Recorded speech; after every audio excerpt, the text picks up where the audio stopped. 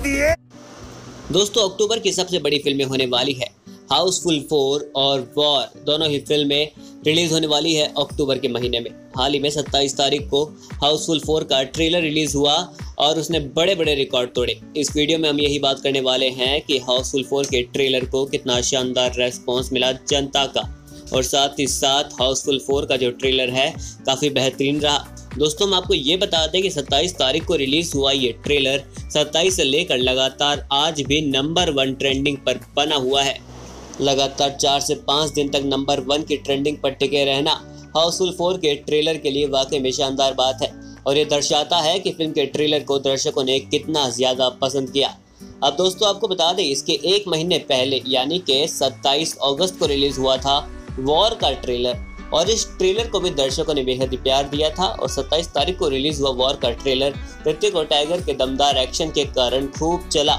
Social media पर इसको जमकर शेयर किया गया और ट्रेलर को पसंद भी किया गया।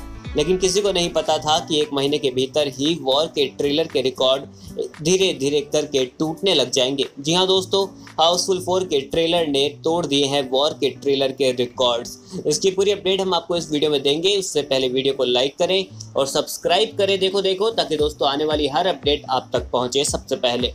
अब दोस्तों बात करते हैं हाउसफुल फोर के ट्रेलर की। दो चैनल पर रिलीज़ हुआ हाउसफुल फोर का ट्रेलर, एक ही लैंग्वेज, यानी कि केवल हिंदी में ही रिलीज़ किया गया। और इसको फॉक्सटा स्टूडियोज के चैनल पे चार दिन के अंदर 46 मिलियन व्यूज़ हासिल हुए और साथ ही 1.3 मिलियन लाइक्स भी इस ट्रेलर को मिले।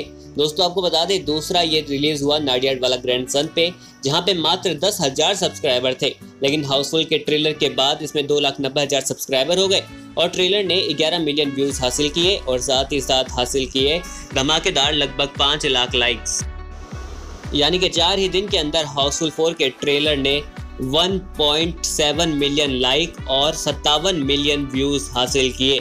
जबकि दोस्तों, आपको बता दें, वॉर के हिंदी ट्रेलर ने एक महीने के अंदर, यानी कि एक महीने चार दिन के बाद 78 मिलियन व्यूज़ और 1.5 मिलियन लाइक्स ही हासिल किए हैं।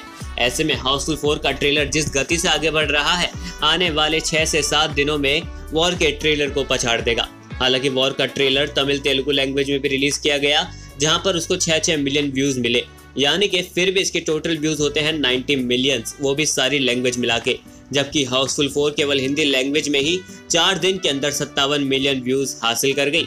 इससे पता लगता है कि वॉर का क्रेज तो है, लेकिन हाउसफुल फोर का शायद उससे भी ज़्यादा। दिवाली के मौके पर रिलीज़ होने वाली हाउसफुल फोर के अंदर नज़र आने वाले हैं अक्षय कुमार, बॉबी देओल, रितेश देशमुख और कृति सरन कृतिक हरबंदा पूजा हेगड़े। जबकि 2 अक्टूबर को रिलीज़ होने वाली वॉर के अंदर ऋतिक और टाइगर की ड्रीम जोड़ी के साथ वानी कपूर हमें दिखाई देंगी। तो दोस्तों, ये था हाउसफुल फोर वर्सेज वॉर का ट्रेलर अपडेट। वीडियो पसंद आई तो लाइक करें और सब्सक्राइब करें देखो देखो ताकि आने वाली अपडेट आप तक पहुँचे सबसे पहले।